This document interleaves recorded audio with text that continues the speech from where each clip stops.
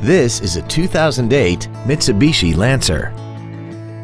This four-door sedan has a five-speed automatic transmission and an inline four-cylinder engine.